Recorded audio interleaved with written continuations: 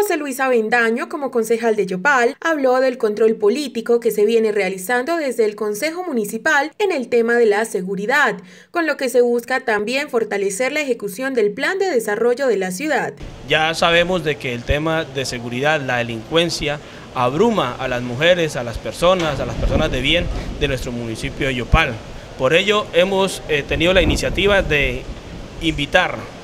a los entes policivos como es la policía, el comandante de estación, el comandante del departamento del Casanare, a la Secretaría de Gobierno Municipal y a la Secretaría de Gobierno Departamental para que de una vez eh, entremos en materia sobre las estrategias que van a quedar plasmadas, ojalá en ese plan de desarrollo municipal, una ciudad segura, para que el Consejo Municipal tenga las herramientas suficientes para comenzar a nutrir y alimentar este gran proyecto de acuerdo como es el plan de desarrollo. Asimismo, el concejal manifestó su inconformismo con respecto al actuar del alcalde de Yopal frente a la inseguridad que agobia a la capital casanareña. En una medida irresponsable, en una salida responsable, pues retó básicamente a la delincuencia organizada que existe en nuestro municipio y ello en vez de aminorar las consecuencias en temas de seguridad, lo que ha hecho es eh, aumentar eh, la persecución sobre la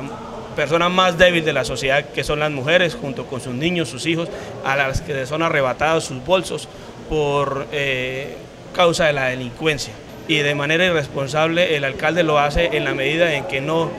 tuvo eh, la forma de prever o una estrategia de contingencia frente a la reacción inesperada por parte de los yopaleños. El señor alcalde pues ha manifestado que ha venido trabajando en temas de seguridad, en consejos de seguridad, pero no vemos salidas alternativas reales para esta situación en donde la policía actúe de manera concreta y especial en contra de la delincuencia que abruma el municipio de Yopal.